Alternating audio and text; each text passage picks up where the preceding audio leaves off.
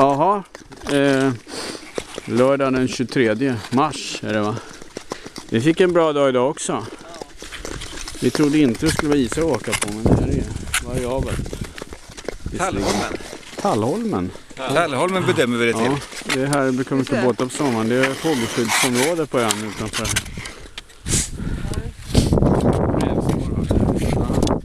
Måste zooma. Där borta åker juniorräven också. Han ska ut till iskanten. Och här har vi då rävspår.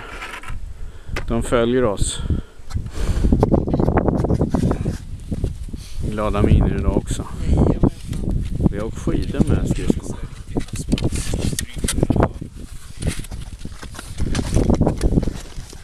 Det är väldigt vackert här.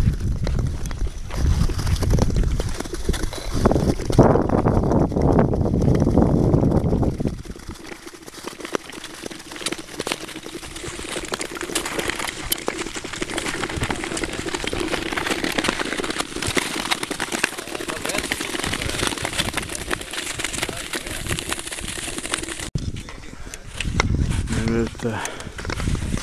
Precis, otroligt vackert. Det har inte lovat många gånger.